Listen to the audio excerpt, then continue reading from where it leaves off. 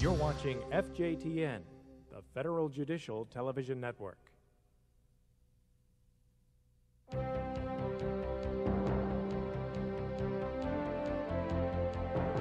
Potentially any case is a good candidate for ADR.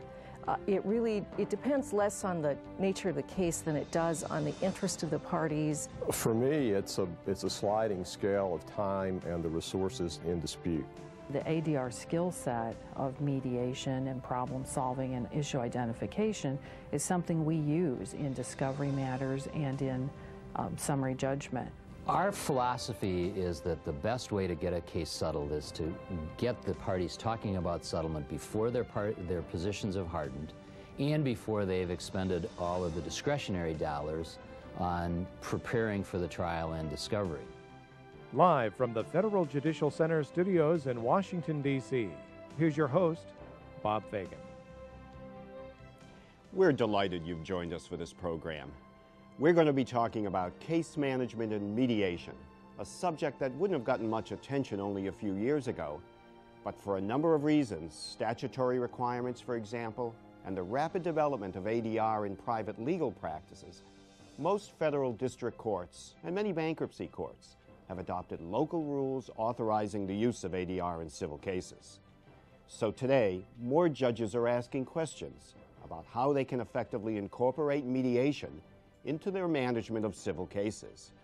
Both judges and attorneys, in fact mediators too, know the frustration of hearing that mediation was not effective in a case because the case wasn't right for mediation. Could the judge or parties have seen this coming? How does a judge select appropriate cases? When is a case ripe for mediation? We're going to talk with judges, attorneys, and mediators about these matters. Our first three guests are federal judges. A bit later in the program, we'll talk with two attorneys, mediator, and a magistrate judge mediator. Let me now turn to my colleague, Donna Stienstra, senior researcher at the Federal Judicial Center, who will introduce the members of the panels and moderate the program. Thanks, Bob. It's great to have you with us for this discussion of case management and mediation. We have a wonderful group of judges, attorneys, and mediators here in our studio to share their experiences and views with you. We'll begin by talking with three judges, and I'd like to introduce them to you now. To my right is Judge Vanessa Gilmore from the Southern District of Texas, sitting in Houston. Judge Gilmore has been on that bench for nine years and has been an active user of the court's mediation program. To my left is Judge Robert Levy. Judge Levy is a magistrate judge in the Eastern District of New York and has been on that bench for eight years, sitting in New York City.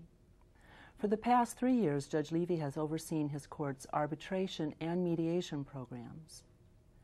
Because of the heavy caseload in his district, it's not unusual for Judge Levy to conduct as many as 50 to 60 case management conferences in a given week, and he frequently refers cases to mediation. Our third guest is Judge Cecilia Morris, bankruptcy judge from the Southern District of New York, who was appointed in 2000 and sits in Poughkeepsie. Judge Morris has had a long interest in mediation, serving as a mediator for the Southern District of New York and for the NASDA, then creating the mediation program for the Southern District's bankruptcy court after she joined that court. I'd like to welcome all of you to the program. It's really great to have you here today. Um, I'd like to begin by talking a little bit about the way you use mediation in your judicial case management. I have heard it said, I'm sure we've all heard it said, that mediation is just another case management tool. Do you agree with that, Judge Gilmore? And if so, how do you use that tool?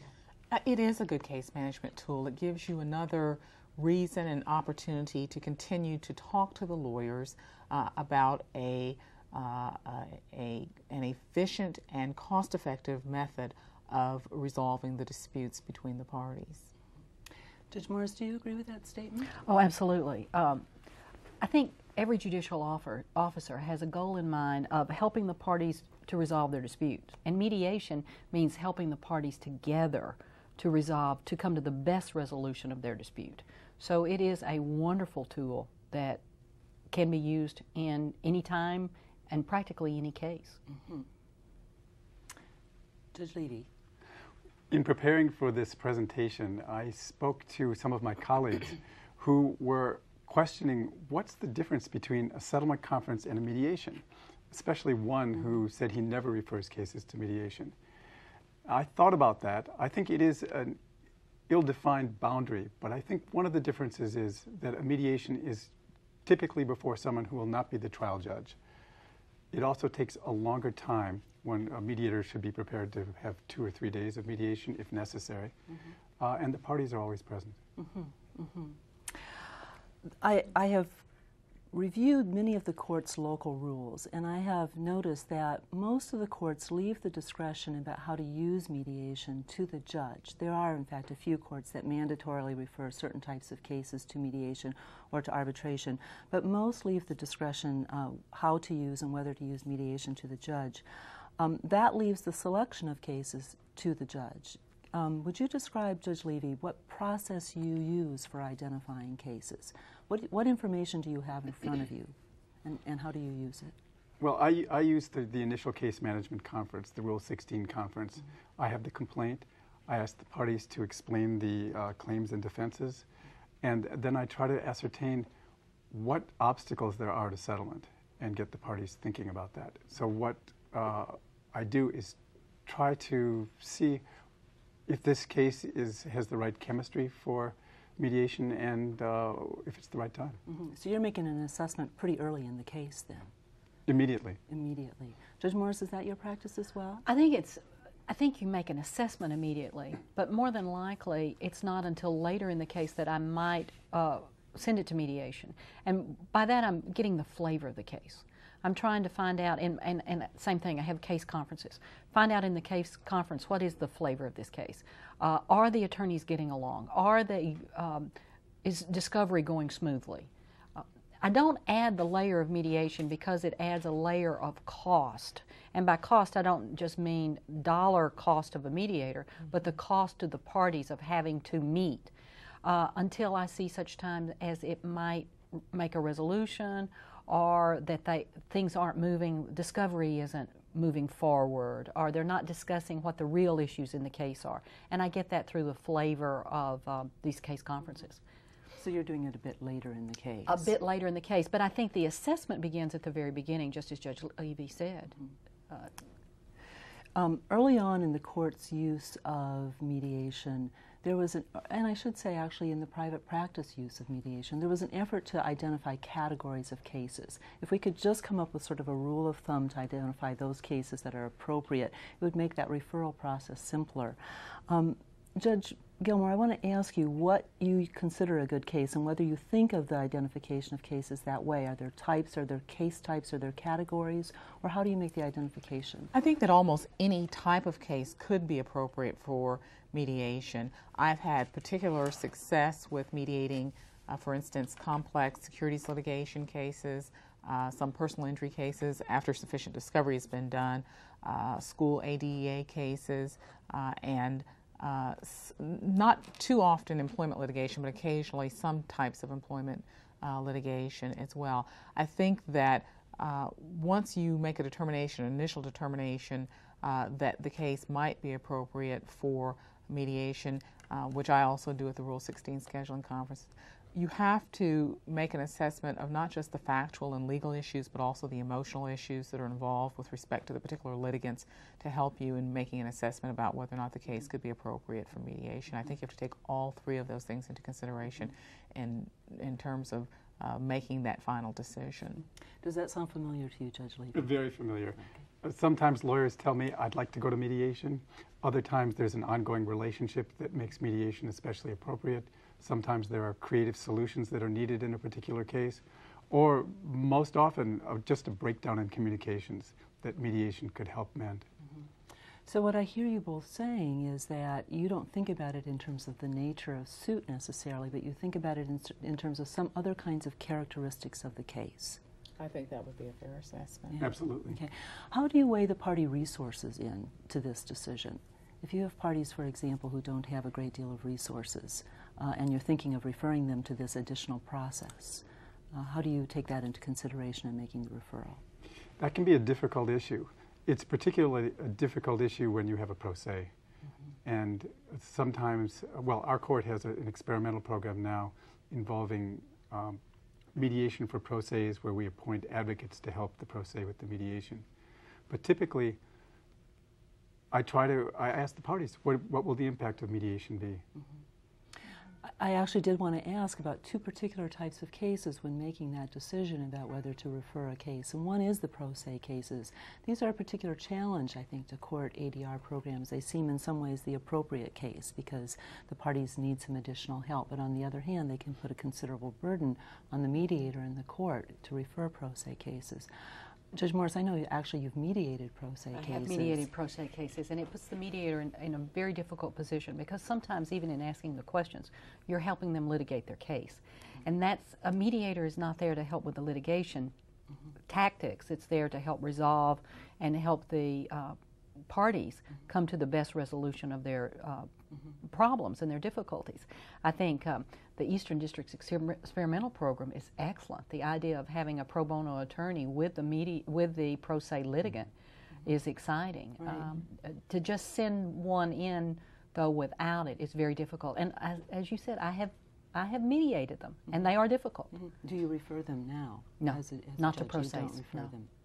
Could you tell us a little bit more, Judge Levy, about this, this program you've adopted in the Eastern District? I think it's something that many courts might be interested in because I've heard a lot of questions from the courts about do you have any advice about referring pro se's to mediation? Well, we have a magistrate judge who uh, is focused entirely on pro se cases. She sees all the pro se cases. She assesses the case for mediation. And then we have a list of attorneys who are willing to act as advocates for mediation. They're there only for the mediation, but they're also there to, to represent and give comfort to the pro se, help that person uh, formulate the issues in the case and understand how to work the process.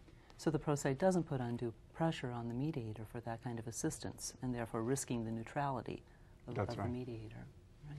The other type of case I'd like to ask about is complex litigation. I know, Judge Morris, you have a lot of big, complex bankruptcy cases. Are these suitable for mediation? Oh, I think they're absolutely ripe for mediation.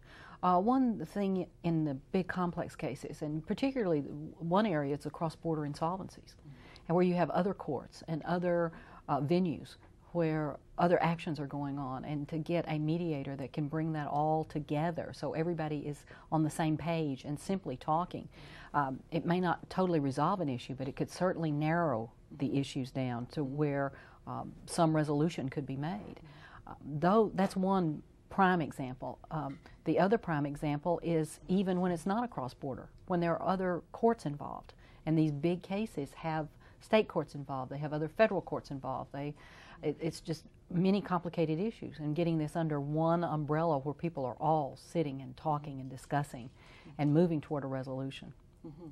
You have more than enough complex cases in the Southern District of Texas as well, Judge Gilmore. Yes, and, and mediation and is very is a very good tool to use in in uh, complex litigation. And, and as Judge Morris was saying, Sometimes you send them to mediation in very complex cases, not for the purpose of trying to seek a full resolution of the case, but simply trying to narrow the issues that you're going to be left with for trial of the case. And that still is a very helpful use of the mediation process. So even if mediation isn't leading to settlement, it has a positive effect in those it, cases. It can always have a positive effect in those cases mm -hmm. if you can use it to resolve uh, uh, some of the issues in dispute. Mm -hmm.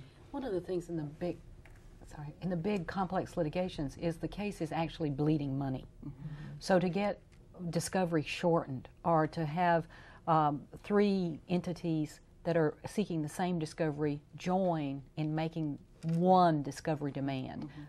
Mediation is a, just an incredible tool to have those things happen, to help have those things happen. Mm -hmm. I'd like to second that idea and also put in a pitch for what seems to be the hopeless, unsettlable case the case where communications have broken down, where the parties are barraging the court with a flurry of discovery motions. They argue over even the most innocuous, innocuous document requests. That case sometimes is ripe for mediation to help change the mindset and reestablish communications. Mm -hmm. Um, Judge Levy, I understand that in your district the mediators aren't paid, that they serve the court pro bono. Um, how do you convince them to take these cases, and how do you convince them to take the complex case in particular? Well, I, I'm constantly surprised that people are willing to do this kind of mediation pro bono. And yours is not the only court, we might add, where this happens. So tell us why you think they are willing to do this. Well, I think number one, there many lawyers are public service oriented. They feel it's a service to the court and to the justice system. Number two, they're willing to uh, get themselves out in the community to get some experience. Uh, and it looks good on their resumes. But we have many experienced mediators who are willing to be on the list. And uh, I, I, I, think it, it, must be part of the public service ethic. Um, I'd like to ask about um, about when you're working with an attorney uh, or the attorneys and you're in chambers and you're talking with them about the possible use of mediation and you're getting some resistance from them because your courts do not mandatorily and automatically refer cases to mediation. So you're working with the parties, they have some say in this, and you're getting resistance uh, from the attorneys. So you're pretty convinced that this case ought to be referred to mediation. Um, Judge Gilmore, what kind of objections do you hear from the attorneys and what do you do with that? Generally speaking, the kind of objection you hear comes at the Rule 16 scheduling conference when you're inquiring about the possibility of mediation and the parties feel that they haven't had sufficient discovery yet to be able to make a real assessment about whether the case could settle at mediation. I think that is a legitimate concern by the attorneys. Uh, they don't if they don't feel that they have enough information to really evaluate the case, they're not going to be prepared for mediation. And if, if a lawyer objects at the beginning of the case from, from being uh, forced to go to mediation at that point in time, mm-hmm. uh, I, I would, I would uh, go along with whatever uh, their assessment was at the beginning of the case. Later in the case, the kinds of objections that you get usually uh, come from uh, the lawyer's experience with their own client.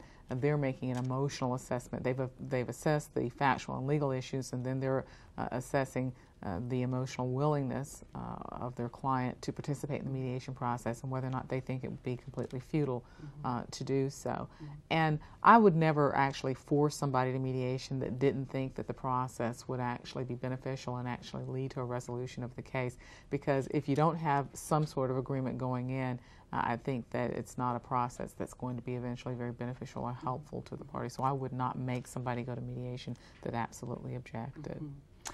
Judge Morris. I think Judge Gilmore touched on the thing that I try to lead the lawyers and talk to the lawyers about, and that is it's a process. So when they have resistance to it, we talk about it, it's a process and going through the process, and that it is an exercise, and, and that their clients and they might benefit from going through the process. And once I've described it, then they tend to go through the process. But we all also know that we're federal judges, and once a federal judge says to you, mm-hmm don't you think mediation would be a good way to go? By and large, you get sign ons mm-hmm. pretty quickly. Mm-hmm. Um, I think I'd, I'd, try to do it a little more carefully than that so that it isn't just a the judge has mandated we do it, so we're going to go sit down and just not talk, but we're going to go. Mm-hmm. I do talk about the process, and I also ask the questions of, um, without disclosing anything you're doing in negotiations, do, have you identified what separates you? Maybe a mediator can help identify what separates you. So I've heard Judge Gilmore say that she does not refer if the parties absolutely object to it, and I've heard you say that the power of your office can sometimes persuade parties they should participate in mediation. Judge Levy. somewhat the same, though. Yeah, yeah. at, the, at, the, end, even if you find somebody who's a little bit resistant, you can still say, yeah. "Don't you think that this would be helpful to you?" Yeah. And you do get some buy-in sometimes just by making that suggestion. Uh, absolutely. Mm-hmm. Um, and I'm going to ask Judge Levy if he has ever ordered parties to mediation over the objection uh, of the parties. No, I never have. But I've noticed sometimes that lawyers are afraid that if I send the case to mediation, that I'll just back out of the case and disappear. Mm. And they need to have a firm hand.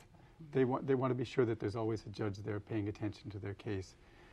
The other thing that, that seems to be important is, as, as I've heard um, Judge Morris say, is to educate the lawyers about the mediation process. They learn in law school about litigation, but they really don't know about mediation in the same way.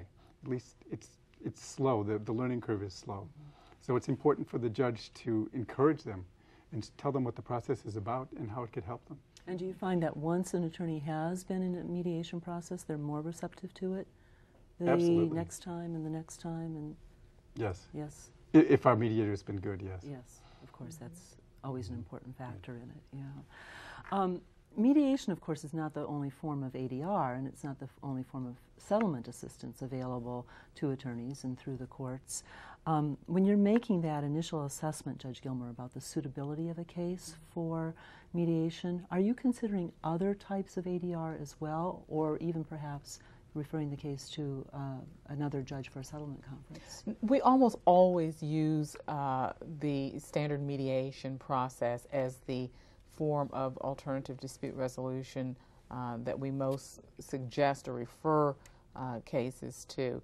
Uh, very often, however, cases uh, come in these days with arbitration agreements or, or standard arbitration clauses in contracts, and so uh, those cases aren't ones that we get too involved in making the determination about the, the method of alternative dispute resolution. Right. They right. just go uh, to arbitration as part of their agreement. But mediation is really the primary uh, tool that we use. We don't really use uh, court um, uh, court-run settlement conferences or conferences with the magistrates that much mm -hmm. in the southern, southern District of Texas because mm -hmm. the mm-hmm. judges are, are busy and are in trial most of the time. Right. Uh, and the culture in our community uh, is for people to employ paid mediators and to uh, pay those mediators for their service of helping them with the resolution right. of the case. Right. Judge Levy, have you found that there are certain types of cases or circumstances where, in fact, having somebody who has the robe is more useful than referring the case to mediation? Yes, there are some cases where the lawyers simply say, look, Judge, we want you to tell us who's right and who's wrong, or tell us how this will play in front of a jury. You have the experience, you know what the damages are worth. Mm -hmm. um, and sometimes uh, I tell them, look, this is a different kind of process from what you're thinking about. If you want an evaluation from me, that's one thing. Mm -hmm. But you have a lot more freedom in mediation to craft whatever you want. And I tell them that you can have any kind of mediation that you want. You can have a summary jury trial. You can have a high-low arbitration. We'll create this process any way you want it to be. You tell us how you want to do it. Mm -hmm. And they almost never take me up on it. Mm -hmm. They always want the traditional ways of doing things, either a judge's evaluation, a standard arbitration, or a mediation. Uh -huh. I'd like to take a moment now to, to check uh, with my colleague Bob uh, Fagan because I understand that some faxes have come in with some questions for the panel. Thanks, Donna. In fact, yes, we received two faxes and we can take them each separately. Uh, here's one from Joe Barrett from the Middle District of Pennsylvania. Uh, is, there, there, is there any reliable data to suggest that certain case types are better suited than others for mandatory mediation? Donna? The question is whether any types of cases are more suitable than others for mandatory referral to mediation. Judge Gilmore. I have not seen any data uh, along those lines suggesting that a particular type of case is more suitable for mandatory uh, mediation. As we discussed earlier, we don't make mand- we don't make decisions to, uh, generally speaking, uh, to have mandatory mediation for any cases. We don't have a local rule uh, to that effect. Uh, uh, maybe there is some, some data that suggests that, uh, but that has not been my experience generally. Are there any types of cases or circumstances that would, would um, compel you to order or to compel the parties to participate in, in mediation? Um, as we talked about earlier, there are particularly in the area of securities litigation, there are some cases, cases that are so complex that you really, really need the parties to mm-hmm. mediate, particularly because there are so many lawyers, mm -hmm. and it's just going to be more uh, uh, helpful for the parties, the litigants, everybody to get mm-hmm. together and have some serious face-to-face discussions. And there really isn't any other forum or opportunity uh, uh, to do that if they're not sitting at a table discussing the resolution, the ultimate resolution of the case. Right. right. Uh, Bob, I understand that there's a second uh, fax. Would you read us that question? Sure, thanks, Donna. We received another fax from uh, Mary Jo Shoemaker, who's the ADR administrator from the Western District of Michigan. And here it is.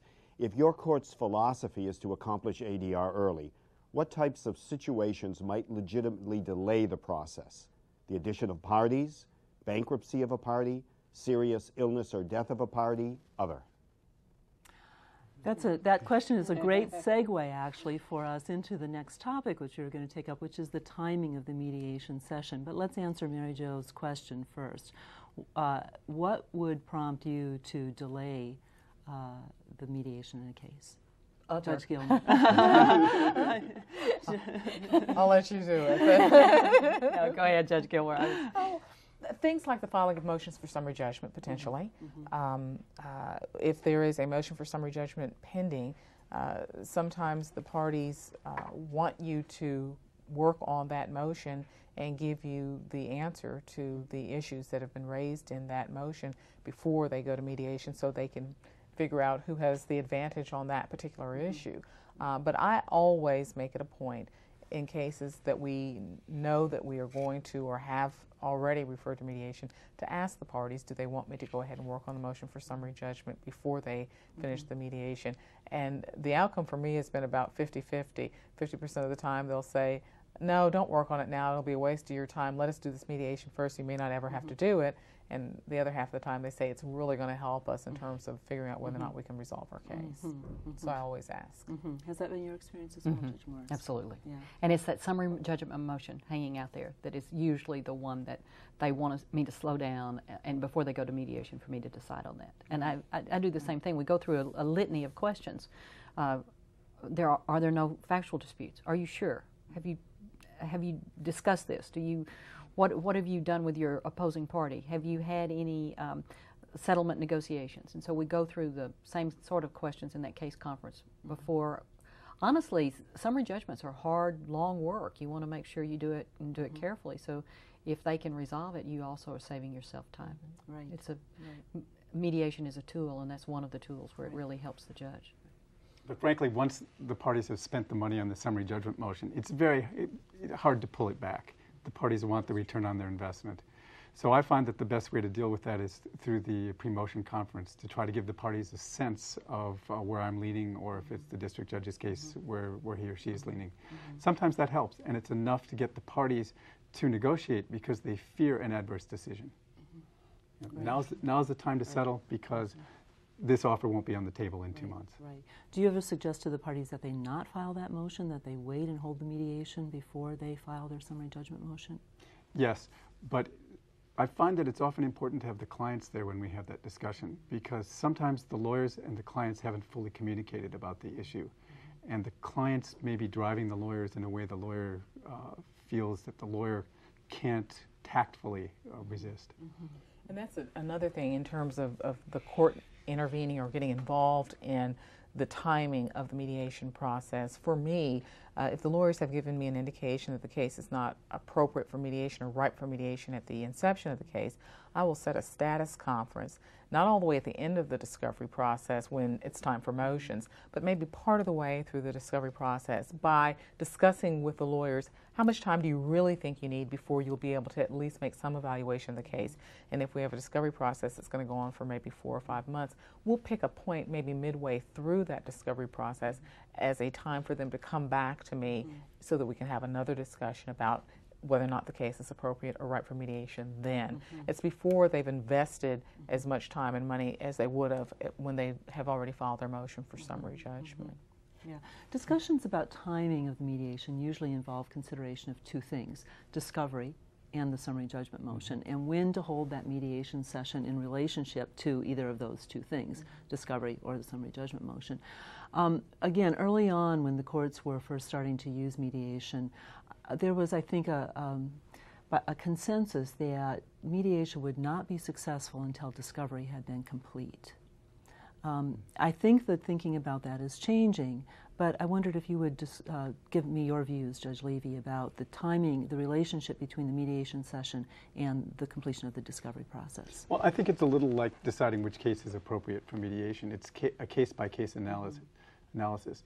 But in New York City, the city of New York always tells the court, let's try to see if we can settle this case now before we've run up the attorney's fees and the discovery costs, particularly in cases where there's fee shifting, where the, uh, the uh, prevailing party will recover fees. The defendants would much rather pay the money in settlement than in attorney's fees. Judge Morris, are your considerations different in bankruptcy? When do you want to see that mediation session held in the case? I think the considerations are the same. I, I think I might approach it just a little bit differently. And that is if I see the parties are going through discovery very smoothly and that they are understanding through my case conferences, understanding what the issues are. Uh, some of the best mediators, negotiators are lawyers. And um, I don't want to upset a balance that may be moving forward because by and large, most everything we have settles before trial. So you want to make sure that it is moving and that they are moving toward discovery, that they are moving toward some kind of resolution, or they are narrowing the issues. And if they're doing that without a mediator, I will not upset that balance. Mm-hmm. Um, I find there are certain times, though, that a mediator will, as you said, bring in the parties so the parties understand what's going on that I may not have in these case conferences. So, and that's, a, that's where you want a, a mediator. But I think a mediator can go in at any time that the case needs to progress to a resolution. Um, I think judging is an art. When to send it to mediation is an art and the timing is not scientific before discovery, before the summary judgment. It's the art of knowing the case and knowing the flavor of the case. Right. So, two of the early efforts, and admittedly, when mediation was very new to the courts, the effort to identify categories of cases and the effort to identify a time when it was right to send cases to mediation. Experience has now shown us that it's, it's a bit futile to try to do that. That, uh, like everything else in judging, there's, this involves judgment, right? That's why they call it judging. That's why they call it judging. what that, that, that, requires then is that the judge be actively involved in the case. Because right. if it's an art, the judge needs to be feeling the pulse of the case right. constantly. Right. And whether it's through const- uh, frequent case conferences or status reports or whatever, you, the judge, have to know if the obstacles to settlement have been reduced. And what that what it also uh, emphasizes is the importance of judges understanding the mediation process and other mm-hmm. ADR processes as well, but understanding that procedure well enough to know when it will be useful right. in the case. Right. Um, I wanted to ask actually a question about the communications between you and the mediator uh, during the mediation process somebody is going to be telling you uh, that there's a need to wait perhaps on, on deciding that summary judgment motion, mm-hmm. or that it is time now to hold the mediation session, or that more mediation sessions are needed. Who makes that communication to you, Judge Gilmore? It's generally speaking, it is not appropriate for the mediator to have any contact with the court. The the rare exception is uh, potentially uh, um, um, when a mediation has been in progress and the parties just need more time and it's and it's going to interfere with the court's current scheduling order. Mm-hmm. I have on occasion had a mediator just write me a note to say we are really making good process progress here. We're still in the process of, of conducting the mediation. We understand we're running up against a scheduling deadline. Uh, may the parties have a little bit of, of an extension there just mm-hmm. so that we can continue the process. Just a logistical question. Mm-hmm. Other than that, it's only appropriate for a mediator to communicate to the court that the case is settled or not settled, and that's it. No further details mm-hmm. uh, about the case. By and large, the, uh, the attorneys communicate with me, not the mediator. Mm-hmm. And I continue the regular scheduled case conferences. Uh, we have everything is still teeing up for trial. The, the pretrial um, motions and hearings are still going on, and it would be the parties, not the parties, but the litig- the attorneys that are coming to me and saying, "We've been to mediation. We want to go again. Can we postpone this? Mm-hmm. Or can we come back in two months instead of a month mm-hmm. or six months because we are dealing with whatever?" Mm-hmm. And they and basically then it becomes the question uh, that you ask them without disclosing your settlement negotiations. Have you pinpointed the issues? Are you moving forward on those issues? And you ask a few questions like that. And if you think that the legitimate answer is that they are, then of course they can get the postponement. But it's the parties that are normally talking to me.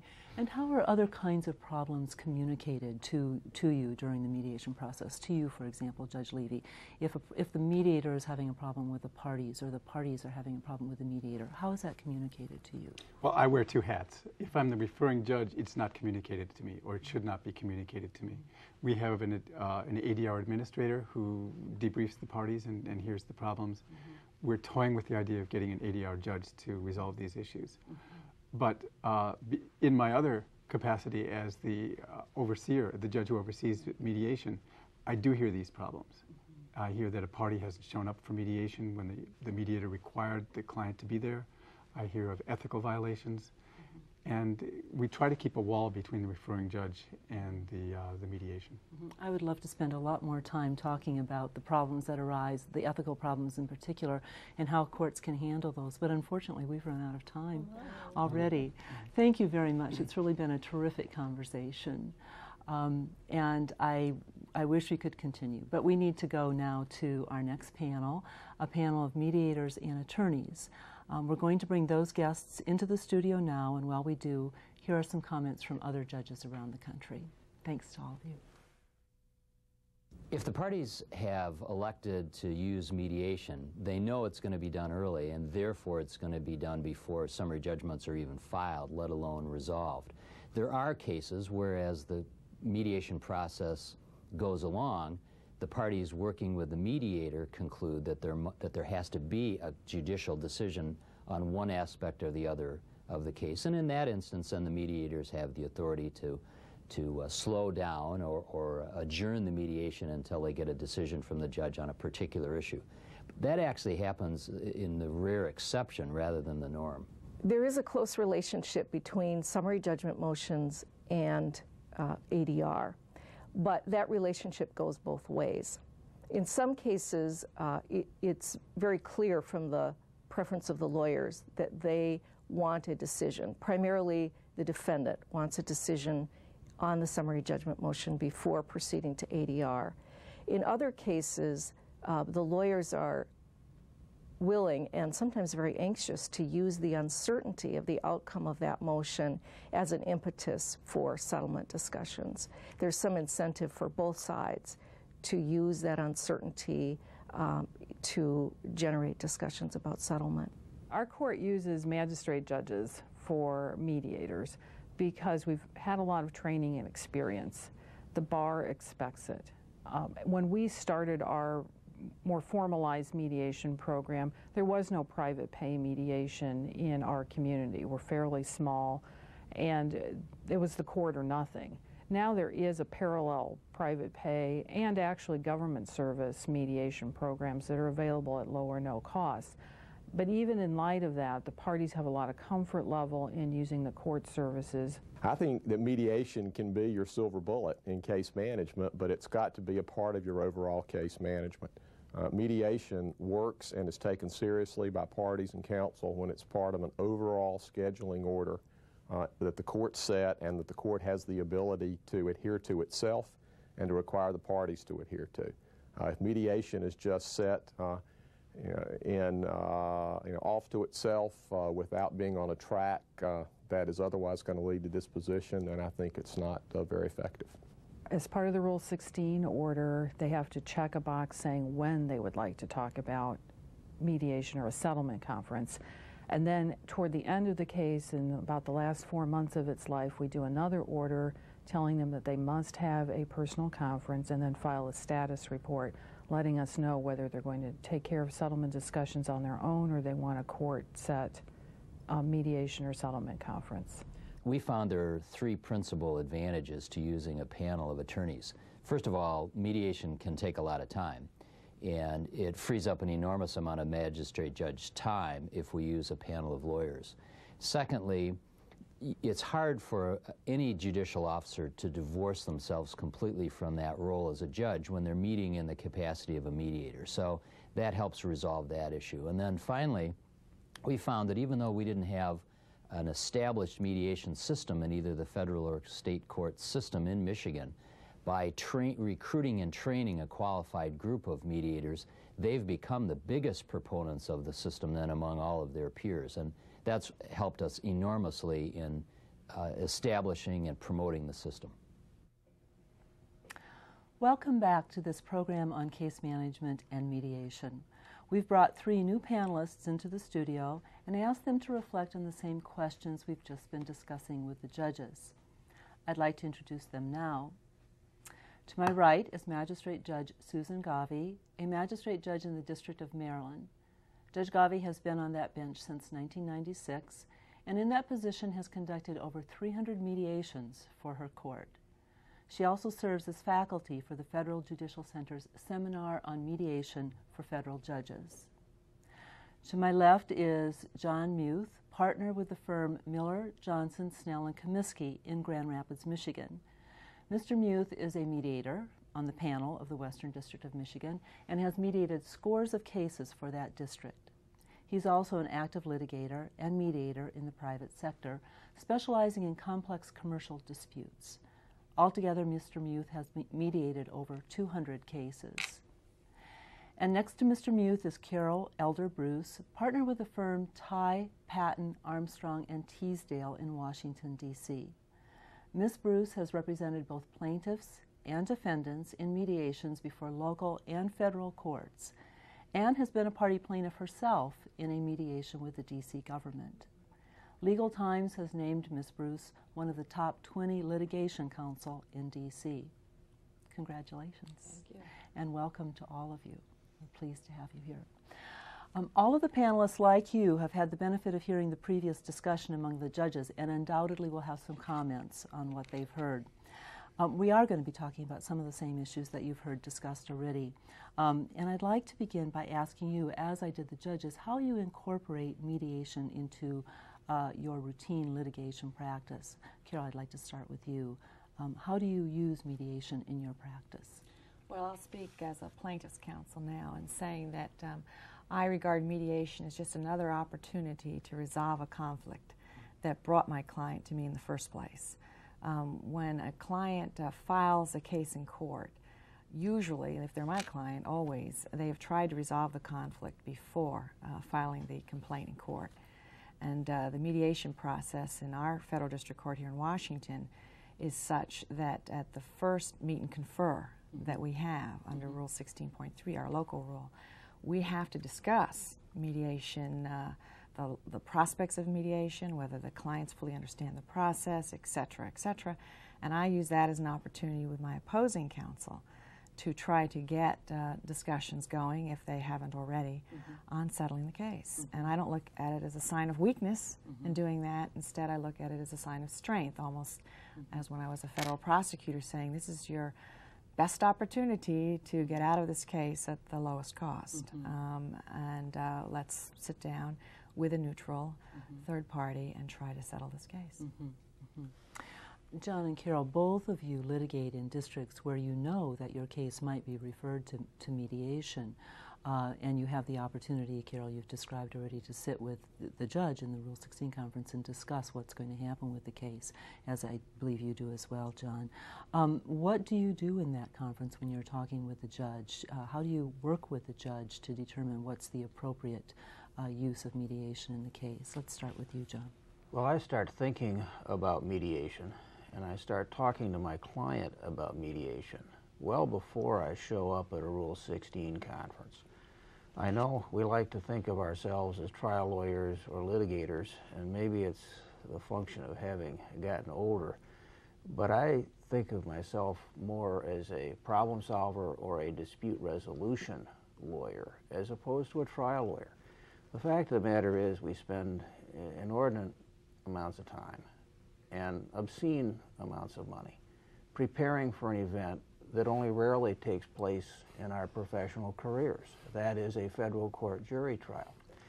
And so I look at mediation as being on the other end of the spectrum of a trial, the trial being the last resort, and mediation being the first resort. Carol, what do you do when you're sitting there having that conversation with the judge and you think the judge is just mis- mistaken in wanting or believing or suggesting that the case would be a good case for mediation? Well, in, in our district, we actually don't have a lengthy discussion at the Rule 16 conference about mediation. It is raised as one of the many issues that are raised, or many, many uh, matters that are raised at the Rule 16 conference. But, uh, and by and large, in my experience, uh, the judges here in Washington don't press the issue. Um, they will bring it up, ask if the parties have met and conferred about the p- potential for mediation, ask about the timing, if they would like to do it now or await uh, the end of discovery. Um, but uh, I've never had a situation where a judge has uh, interjected himself or herself into the case at that early stage to uh, insist that this is something that ought to be pursued. Mm-hmm. Um, and, again, I think in part, in large part, maybe entirely, that's because the judges respect the fact that this is an early uh, step in the case, uh, that it is a bit presumptuous, at least would be perceived as presumptuous by a, a plaintiff who feels they uh, have a right of access to their courts mm-hmm. to be being pushed back out the door of the courtroom mm-hmm. by the judge. Um, so I think the judges are very respectful of uh, the, the person's right to file a complaint and to, uh, through counsel, uh, suggest and decide when it's best to go to mediation. Mm-hmm. Then who usually takes the initiative ultimately in making the referral to mediation? Do you request it or is it something the judge raises? My experience, we usually get to a point in the case where that, that it's assumed that after discovery there'll be a mediation period. Mm-hmm. Um, and if you want it earlier, then you can request it, mm-hmm. um, and that's how it's done usually so by the parties the, initiated. The part- In the pro se cases, it's a little different. I've seen, I've represented pro se plaintiffs um, where uh, judges have asked me to represent them uh, for mediation purposes only. Mm-hmm. I listened to the prior panel on, on pro se, uh, and uh, I would say that in our district, I think we have a very successful way of um, managing pro se uh, matters with mediation, and you get the counsel appointed for mediation purposes only, so the litigant has the benefit of the advice of counsel mm-hmm. and uh, in evaluating their case and in going um, into that mediation process. I might say that in our district, the judges are very proactive on dealing with the subject of mediation at the Rule 16 conference. It, it's something that is taken up uh, very early and strongly encouraged. Mm-hmm. Mm-hmm. And the referral, however, is not made at that at that point. May very well be. Uh, in my mediation practice, I mediate disputes that haven't been filed as a case anywhere yet, but are on the verge of being filed. I mediate uh, cases in the state court that don't even have things as formal as a Rule 16 conference but where the parties decide to do it before they do any discovery. Mm-hmm. I mediate in federal court immediately after the Rule 16 conference and before mm-hmm. any discovery. So my view is that as long as the other factors are present that mm-hmm. suggest to you that the mediation is likely to be successful, the earlier the better. Uh-huh. Okay. Um, you've heard the judges say, or you've heard them describe the cases they consider to be suitable for mediation, and in fact, almost every case is apparently suitable for mediation. Um, Carol, from an attorney's perspective, what case, kind of case, do you think makes a good candidate for mediation? I think it's less a function of the category of case than it is uh, the, the, nature of the attorneys mm-hmm. and the clients and what the goals are mm-hmm. of the plaintiff. Um, I can tell you what, what cases w- would not be, uh, I won't say good candidates for mediation so much as ones where it would be uh, difficult to have a successful and final mediation where there's actually a settlement. And from that would be cases in which a, uh, a defense attorney is uh, working uh, for defense costs from an insurance company, perhaps in a med mal case, where they have an inattentive client, a trustful client that is not pressing the attorney to come to some resolution in the case, and where they are quite literally running the meter, mm-hmm. uh, the billable hour meter, and have maybe legions of associates working on a case. Um, I've found that those are very difficult cases to actually resolve early that instead we may end up in mediation after discovery and after much money has been mm-hmm. spent and time has taken uh, in the case. And for the, from the plaintiff's perspective, my, the clients who are not good candidates for a final resolution of the case through mediation would be uh, plaintiffs who are still angry. Mm-hmm. Um, that they haven't adopted the old saw of you know don't get ang- don't get mad get even mm-hmm. you know bring your case and just mm-hmm. make this a uh, a, a, question of seeking justice, but they're mm-hmm. still they still are emotionally invested in what happened to them, mm-hmm. as well. That maybe they should be, but mm-hmm. the attorney's job is to channel that um, energy mm-hmm. um, so that it's no longer just anger and it's more a focus on how to resolve some, uh, the matter because it's going to come to resolution someday. Mm-hmm. Um, and uh, the, the, clients, again, who are least likely to be uh, the benefit from mediation, at least early on in the process, are those that are still angry, who have vilified the opponent and are not willing to listen to them yet, and who also happen to think their, their attorneys are the best doggone attorneys in the world who mm-hmm. will win the day mm-hmm. in court. And so there's no need to settle or to discuss taking anything less than all that they're entitled to. Those are very difficult situations. And even though mediation may not uh, come to a final resolution, I think even in those cases, those are candidates for the process. Mm-hmm. So you go in, and, and the client will then see that, oh, there is an opposing counsel who will be questioning me at, um, at trial. These uh, matters that my, my counsel has told me are um, difficult questions of law and difficult factual situations. This attorney is going to figure what those are and is going to cross examine me, and it's not just an abstract problem, it's real. So it's a good process. Judge Gauvey, you are on the other side of this process. You are the recipient of the cases that have been referred. And in your court, many of the cases are referred to the magistrate judges and to you in particular Mhm. for mediations. Um, from your perspective, what kinds of cases are most suitable and not suitable for mediation? Well, I am such a um, fan of mediation. I haven't met a case yet that I didn't think wasn't suitable for mediation. Mhm. If it wasn't going to be successful, at least it moves the case, it changes the case, it narrows the case.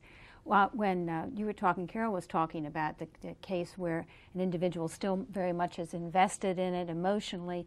To me, those are tremendously good cases, particularly for judge hosted mediation because they come in people like that whether it's a wrongful death action or a med mal they come into the courthouse. They come into a, I don't hold my cases my mediations usually in the courtroom but they come into a, a judge's chambers. There is the dignity and solemnity of the process.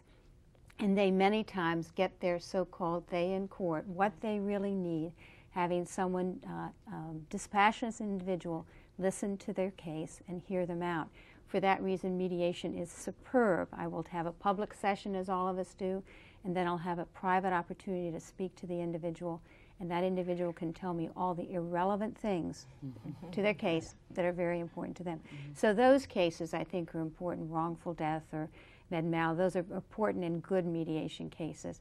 Um, I agree that there are some cases that maybe can't be settled in a, in a single mediation session. You may need to have a little bit of discovery.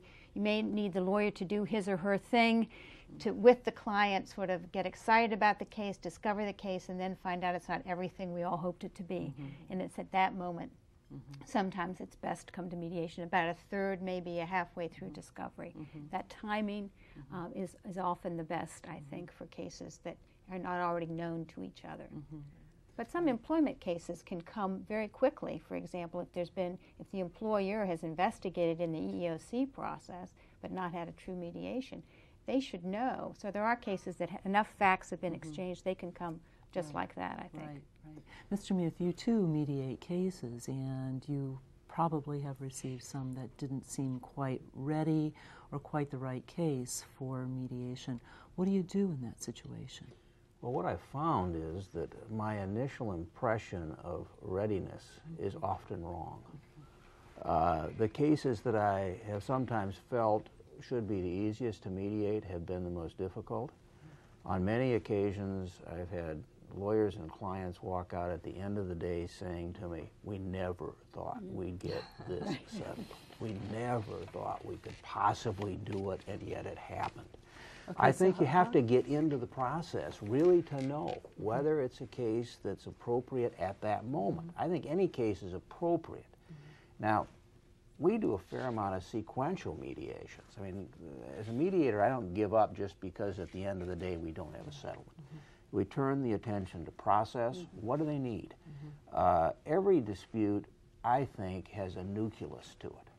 And one of the things the mediator is capable of doing through the course of a long day talking to people is to help identify that nucleus.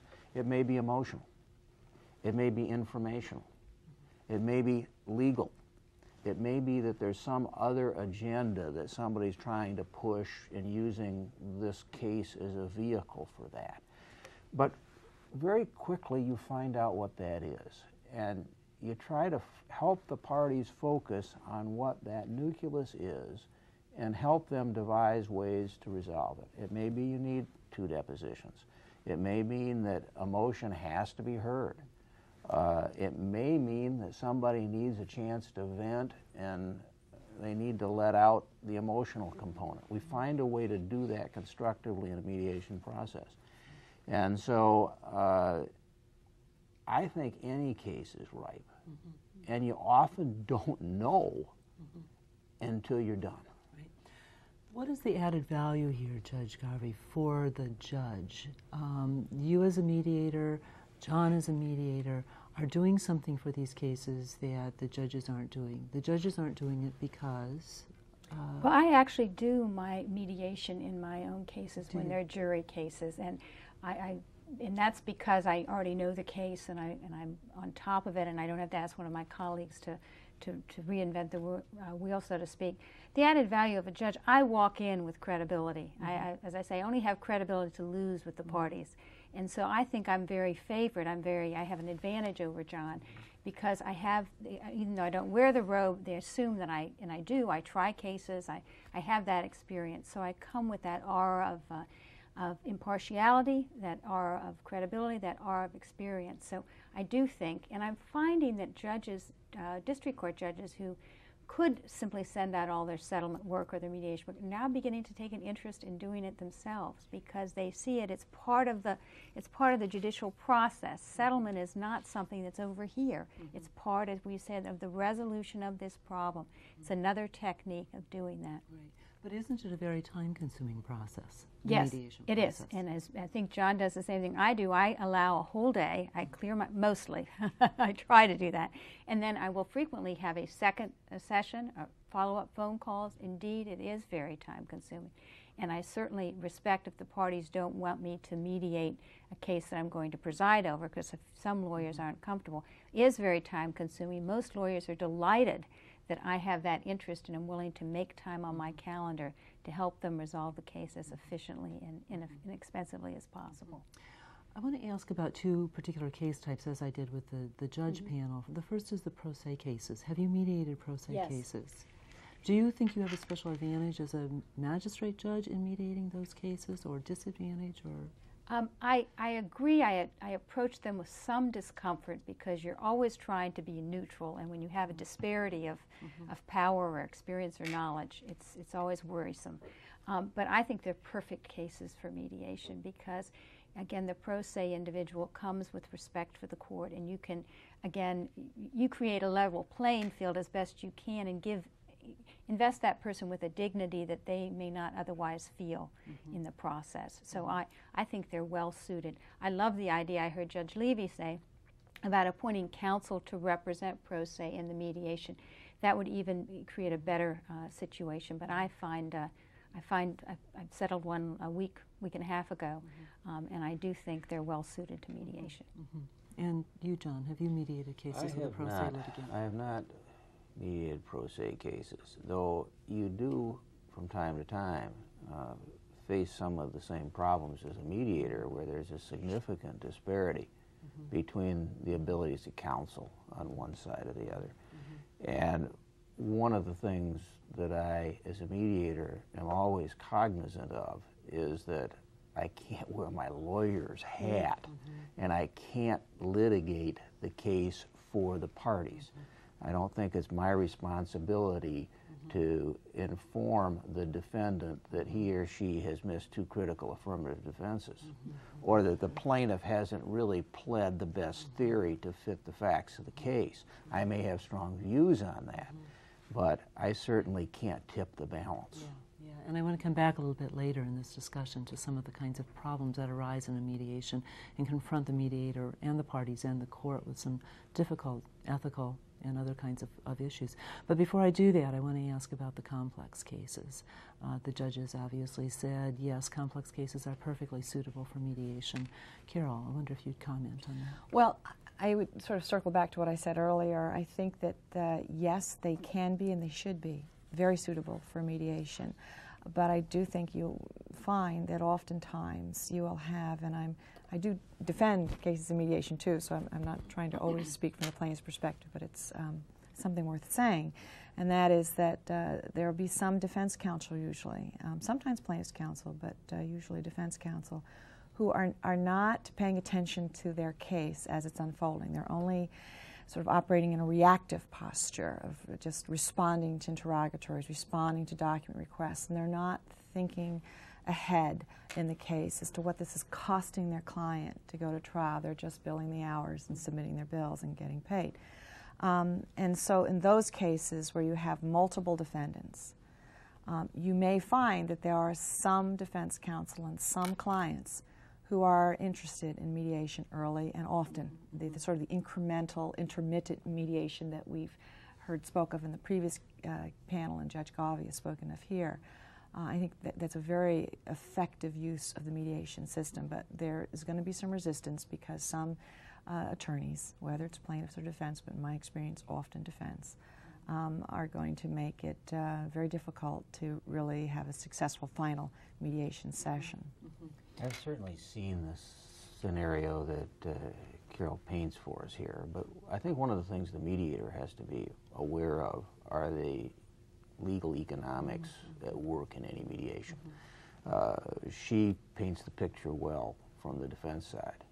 On the plaintiff side, uh, if that lawyer has a big mortgage payment due two weeks from now, uh, it may push in the other direction, and you wonder if the result there is always fair.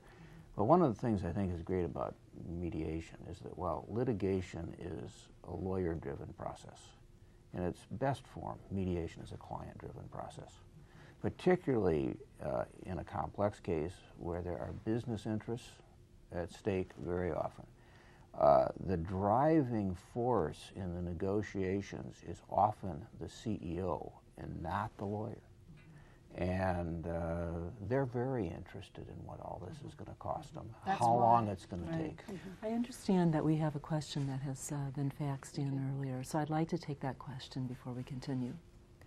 Thanks, Donna. We received a fax from Michelle Roybal uh, from the U.S. District Court in the District of uh, Utah, the ADR administrator. What is the perception of co-mediation? Do the panelists think it is a benefit to have two mediators participate in one session? For example, one could be a substantive expert in the area of law, and one could be a procedural expert in providing a mediation forum. Additionally, might having two mediators be a benefit in a scenario with multiple parties? It fits very well with what we've just been discussing the complex case, multiple parties, and when do you call in another mediator to work with you, John? I have had experience with it very successfully in a number of cases, and I'll give you a, a couple of examples. Uh, we were mediating a case not long ago that dealt with retiree health benefits that were in danger of breaking a company. And I'm no expert on ERISA law. Uh, I'm no expert on management of a company in financial distress.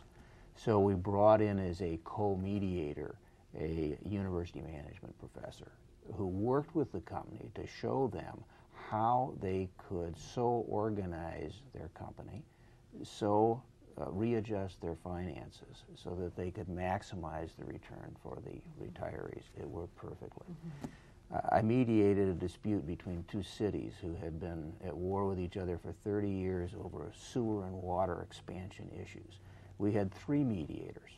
Uh, I was running the process. We had a water sewer engineer talking to the technical folks and we had a forensic accountant talking to the people who were uh, keeping track of the dollars. And it worked beautifully in, in those cases. I think you have to identify a need that is technical in nature or specialized in nature. Bring somebody in. Let the lawyer mediator worry about the process.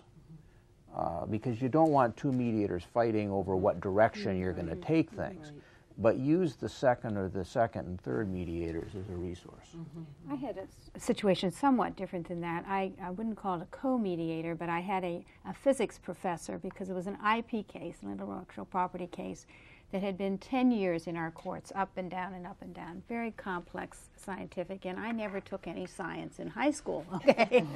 and so uh, I had this physics professor, and it, it kept everybody honest because he sat next to me. He, he didn't have a speaking role largely, uh, but uh, he kept everyone honest so that the issues got put on the table.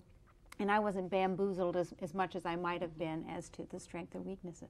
So I thought it was a very effective way of dealing. When I saw when there was a need, it was like a courts expert uh, in the uh, in the mediation process. In, in the small amount of time that we have left, there's two other things that I'd like to make sure we talk about. One is about the timing of the mediation. We heard the judges talk about it. I want to make sure we get it from the perspective of the mediators and, and the attorney. Uh, and then I'd like to talk a little bit about the problems that arise and the ethical issues uh, in uh, mediation in court cases. Um, but first about the timing. Of course, as you heard, the conventional wisdom was mediation can't really be successful until after discovery is complete. Carol, what's your view on that? I don't think that's so in most cases, in most traditional tort cases or, or contract cases uh, that do not involve multiple parties. Um, I think uh, that, that what is true, though, is that there probably has to be some exchange, uh, informal exchange of information between the parties, either at the mediation session or in between sessions. Um, I think um, that uh, that is what, what's really key with respect to the timing of mediation and trying to have it occur earlier is that the judges be involved in this process to encourage it, if not at that initial conference as we spoke of earlier, at a status, an early status conference, mm-hmm. uh, and to be available to the parties um, to encourage it even further. Mm-hmm. Um, but uh, it seems to me that if um, you, uh, if you assume for the sake of argument that a motion will be granted um, in the course of the mediation, and the mediator is more of a, an evaluative mediator instead of just a facilitator, somebody who is willing mm-hmm. to, to give some evaluation of the case, um, then with that informal discovery, with certain assumptions as part of the mediation process, uh, the parties can, uh, and it's certainly in their interests, uh, to resolve the, to resolve the case early. You said it's particularly helpful when the judge is involved. What kind of involvement are you looking for from the judge? Well, I mean, a, a judge could offer to um, hold a settlement conference or refer it to a magistrate judge for a settlement conference. It may be, and I, have been in cases in which I think that's the best way to go, at least as the first step, if nothing else. Why? Because uh, I think judges and, uh, are more um, are more inclined to be straight talking with, uh, with clients, with parties, mm-hmm. about the uh, cost of the uh, litigation and, and, not the cost of the judicial system, mm-hmm. because again, I, I think people should have mm-hmm. access to their courts. Um, and uh, not so much a cram down situation where they're going to cram mediation down their throats, but the, the authority, the prestige of the court, in, in suggesting um, that mediation is a good way to resolve a conflict that will be resolved someday and that it's a way to resolve it in a fashion where you have some control of the process mm-hmm. and where you lose control completely when the jury goes out to deliberate mm-hmm. mm-hmm. um, right. is, uh, is helpful. Right. Judge Gauvey, you have seen it all in mediating over 300 yes, cases. What's your view about the timing? Is there an optimum time? for mediation? I, I every time I'm speaking to the lawyers, whether it's in one of my own cases or it's a case I may have referral for discovery disputes or for media, I raise settlement mm-hmm. every time I do that. If I've just resolved a complex discovery dispute, I might say, well, this is a good opportunity now that we're talking. Let's see, do you want to set in a settlement conference? Every, if I have my own case and I'm ready to go to trial and pre-trial conference, I raise the issue. So to me, and I think we were talking, Carol, off camera about it, is that when you're doing a litigation plan as a lawyer, you don't have in there think about settlement on, on, day 62. Think about it. So that's the job, I think, of the court to remind the parties we should always be thinking about how can we resolve this problem. Is this let's keep this idea on the front burner. So I think that cases can be mediated very early on. And if that's not a good time, I'm like, John, how about let's come back in a month after mm-hmm. you've done this or after you've had an auditor come. Mm-hmm. Just constantly keeping the conversation going and keeping, say, what else do you need? What do you need before it's going to be more productive? Mm-hmm. That sort of thing. Mm-hmm. I'm sorry. Yeah, so that so I, to me, timing is early and often mm-hmm. is, is the way I do it. Any opportunity, I think we need to raise it. John, where do you want that case to be sitting relative to the summary judgment motion when you get it? Well, the summary judgment motion can be an impediment to the resolution of a case where people are fixed in their legal positions. Uh, and if you find that you can't get the case resolved before then, Uh, that's not a reason why you can't come back and resolve it right afterwards. So early and often, I think, is, is a good set of a few words to describe how you ought to approach it. Now, when I mediate a case, I always ask if there are significant legal issues. I want to know that in advance. I want to know what the fact issues are. But if there are legal issues, I want to know what the positions are, what the seminal authority is, and I'll prepare for the mediation mm -hmm. as if I were to hear the summary judgment motion. And very often, I can work through the legal issues with the parties in the context of litigation in a way that results in them being able to get the legal dispute at least behind them in terms of risk analysis. Because there's a risk of winning, there's a chance of losing almost any motion that's put to any court. And if you can get the parties to factor that risk in with the other risks, then I think we can save the court a fair amount of work down the road. Right. I want to move on with the few minutes we have left to talk about the problems that arise, but I can't do that until I give the attorney in our group a chance to speak to the timing issue. We've heard from both the people who mediate. Carol, tell us from the attorney's perspective what you think the timing should be uh, relative to uh, summary judgment. To summary judgment? Yeah, and, and discovery. Well, if um, it, it, really is, um, it's a risk analysis. Mm -hmm. um, am I going to win this motion? Am I not? And, it, and it's not always uh, something as, as big as a summary judgment motion. I had a case in which um, there was a motion pending about the testimony of a witness. Would it be allowed or would it not be allowed? And I frankly wanted to, uh, to resolve the case through settlement discussions, mediation, whatever, before that motion was decided um, because I, I wasn't 100% confident I was going to win that motion. I knew that if I won that motion, I'd win the case. Mm-hmm. Um, and so there were, so the parties then, I think in every case, it's very case specific. Mm-hmm. You really have to uh, think about how big the issues are mm-hmm. and what is the likelihood, if you mm-hmm. can, you know, guess that, of uh, whether you're going to prevail or not on a motion. Uh, but I, I uh, will have to agree um, with uh, both Judge Gauvey um, and John that early and often is the rule that mm-hmm. I use, and I, I, don't think I have any apologies to anyone to uh, to use that rule. It's mm-hmm. not as if I think it's a sign of weakness mm-hmm. that I'll broach the subject of uh, mediation. And instead, I look at it as a sign of strength. Again, I'll offer, a, make a good offer right. um, of settlement right. uh, coming out early right. on, and that just offer will just keep going up, unless I lose emotion. Let's use our last two minutes okay. to talk about the kinds of problems that arise in, in mediation. Um, John, when you're mediating a case uh, and you run into a difficulty with the parties, what can you tell us what that would be? What kind of problems might you run into? And who do you go to with that problem?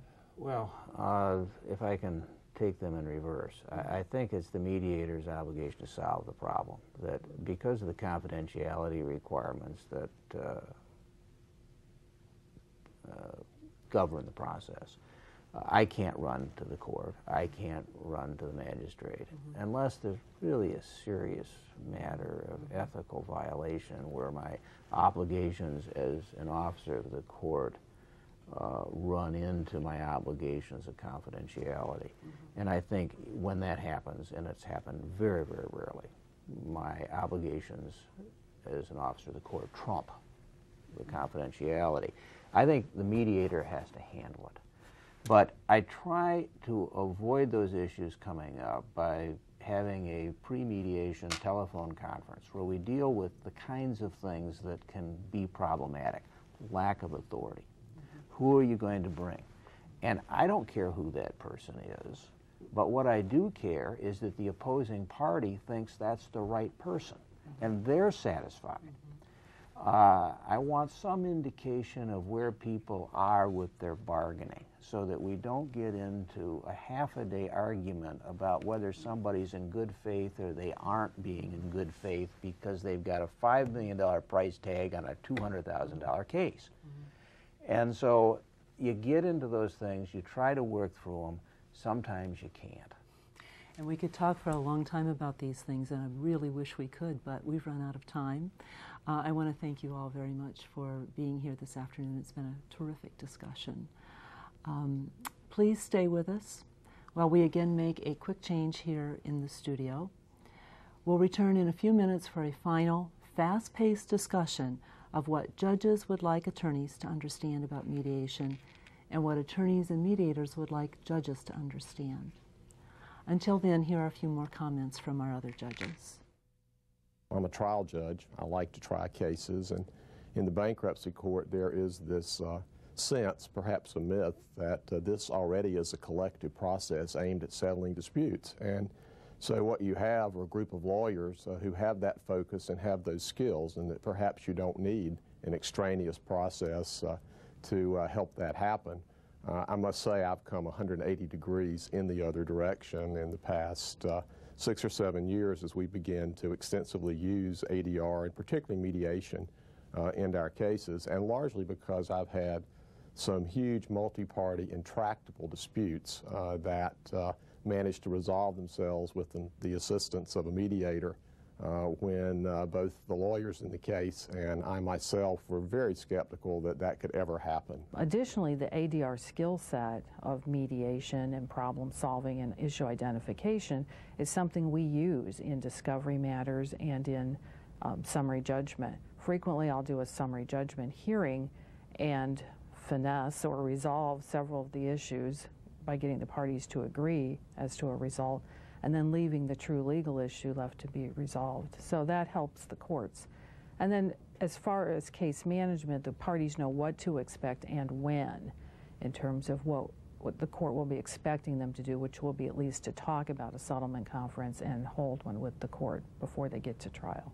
Our philosophy is that the best way to get a case settled is to get the parties talking about settlement before their, part, their positions have hardened and before they've expended all of the discretionary dollars on preparing for the trial and discovery. So we've found that once we convince the lawyers that this actually worked, that cases settle much more easily if it's at the beginning than if it's at the end of the trial preparation process.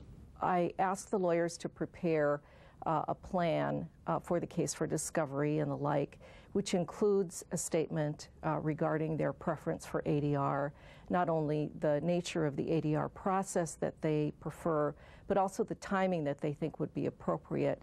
And I will explore that further in terms of uh, what type of discovery, if any, do they think they need to, to complete before discussing settlement, uh, when they think uh, the best time would be, um, and other issues of that nature. I think here, uh, for federal judges, particularly those who don't have a, an extensive mediation program, the state court context in which you work is critically important. Uh, and in my particular state, North Carolina was one of the leaders in uh, court-annexed ADR. And we've had a state court mandatory uh, program for years and years and years now. So it's no surprise when I raise with lawyers the possibility of mediation we use the panel certified by our state Supreme Court. When a case uh, has completed mediation, whether it's settled or not, it's important for us to preserve the confidentiality of the process. And therefore, the only thing we get back from the mediators is either a notice that the case is settled or a case that or a notice that the case has not settled. Welcome back to this final short panel uh, on mediation and its relationship to case management. I have only two questions I'm going to put to the panelists, and I'd like all of you to answer these, these two questions. Um, and we have only about eight or nine minutes to do this in. So, um, first of all, I'd like to ask each of you for a piece of advice. And I'll start with you, Judge Gilmore. What would you like attorneys, uh, members of the bar in general, not the attorneys in a specific case in front of you, but what would you like attorneys in general to understand about mediation and about how the court uses mediation? Well, I would like attorneys to think about mediation uh, as a possible uh, means of helping their client to efficiently resolve their case at the very beginning of the case and throughout the case uh, until such time as the case is uh, resolved short of trial. And to think about the fact that the, the, the courts are busy, the judges are busy, but that we are willing to help the lawyers get to uh, the mediation process. Uh, but sometimes we need some reminding and prodding uh, as well, and that we can be good partners in terms of helping to resolve a case uh, if we work together and to keep the lines of communication open with the court. Mm-hmm. Judge Levy, same question for you. What do you want the attorneys to understand?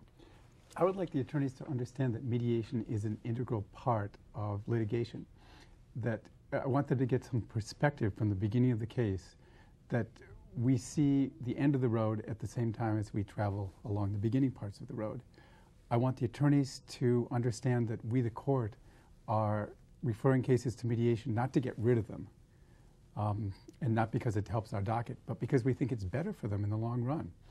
That this case that they've given us will be decided one day or another, whether it's by a jury, by a judge, or by themselves, and that there's going to be a decision. And they could have that decision today rather than two years from now at much less expense and with much more participation on their part. That litigation is the least uh, efficient and most costly way of resolving a dispute, that they're here before us because they can't resolve their disputes on their own, but they can try at this point that they have a common interest in trying to resolve this dispute. So I want them to change their mindset, think less like attorneys, but more like advocates for their clients at that point, uh, and trust in the process. Mm-hmm. Carol, what would you like the judges to understand as an attorney? Well, I think what I would like the judges to understand as an attorney is that um, we will always think as uh, advocates, as Judge Levy just said, but that uh, we, in going to mediation, will act um, as advocates for our clients at every opportunity, and, and, and yet we need the judges to uh, let our clients know in every opportunity they have in court proceedings about the benefits of mediation and about uh, the benefits of listening to the other side so that if our clients and the clients of, the, uh, of our adversaries are hearing this from the court, then it has the imprimatur of the court, um, and the, the, whole process of mediation. So I, I, don't go to mediation and take off my adversary's hat altogether um, because I want the other side to know that if we can't come to some reasonable solution of the case, this is what they're going to see in court. I will be asking hard questions and I will be uh, making demands on the other side. And finally, you, John, what would you like the judges to understand about your work as a mediator in court referred cases? Well, I'd like the judges to understand how valuable a service mediation is that is offered to our citizenry. Uh, I think it's almost a misnomer in some respects to talk about mediation in the context of case management. Uh, I think it's better to think of it in the context of overall dispute resolution. I know as lawyers and maybe as judges, we get caught up in dockets, deadlines, deposition schedules, motions, pretrial orders, trials, and we are so focused upon the mechanics that we lose sight of what we're really trying to do. And what we're really trying to do, in a very simplistic way, is to help people solve disputes. And so I like to think of it as a cooperative effort between the court and, in my case, the private mediator, or perhaps, in Judge Levy's case, the magistrate mediator, uh, of working toward an appropriate solution to problems that somebody brings mm -hmm. to the system. And I think you've already started at least to answer my next question, which I want to put to each of you, and that is what advice or rule of thumb would you have for the judges in our audience today about the relationship between case management and mediation? I think that mediation is an integral part. It's not an adjunct of what the courts do. Uh, and it deserves perhaps more attention than some courts have given in the past. We've been fortunate in the Western District of Michigan to have had a bench that has been very, very supportive of this and very encouraging of it. And something happens over a period of years as a result of that interplay between the bench and the private bar.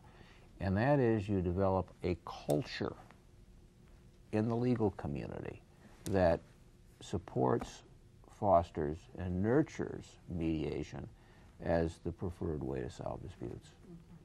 And Carol, one last word. Um, I would think that one thing that seems to work very well in John's district and others is that the mediators, especially in the complex cases, are paid mediators. While I, I think it's extraordinarily admirable in your district, Judge Levy, and in Washington, D.C., that there are so many volunteer mediators.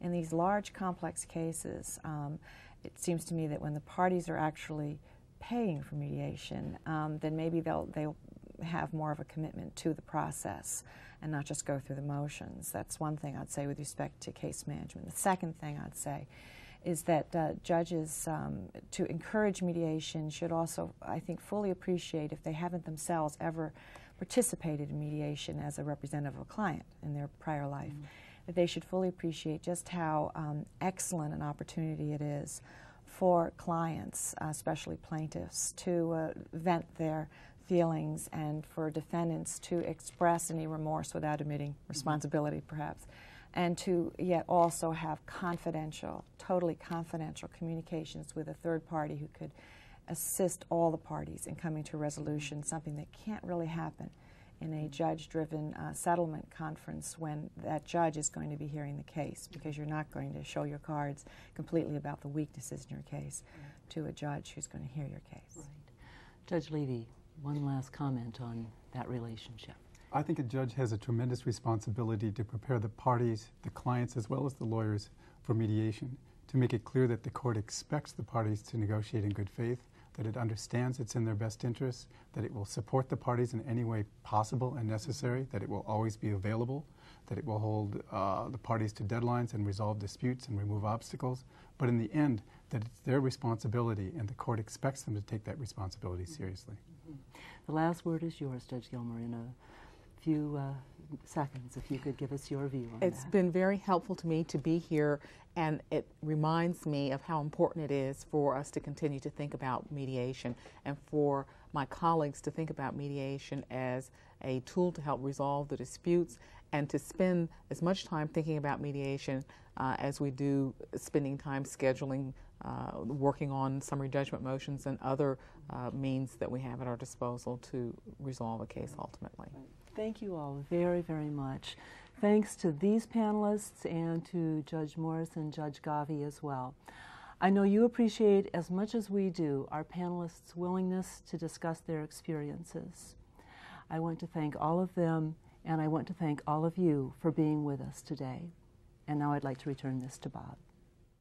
Thanks, Donna. I'd like to tell you about a new program the Center is launching this month, the Program for Consultations and Dispute Resolution, which will provide on-site consultations to district and bankruptcy courts. If your court wants to establish an ADR program or enhance an existing program and would find it useful to consult with an ADR expert, please call Donna Stienstra or Laurel Hooper. They'll arrange for one of the project consultants to come to your court at no cost to you to discuss your questions. The consultants are judges and court ADR staff who have substantial experience in ADR. They can provide consultation on most topics in ADR. An email has been sent to all federal judges, clerks of court, ADR administrators, and others announcing this new program. I'd like to remind you that many written materials on ADR can be found at the Center's website. You should see the website address on your screen. Let me remind you also to please complete an evaluation, which was part of the downloadable materials on the DCN. As always, we very much appreciate your feedback. Thank you for joining us today. Keep an eye on the FJTN Bulletin for other upcoming programs of interest, and we'll see you on our next FJTN broadcast.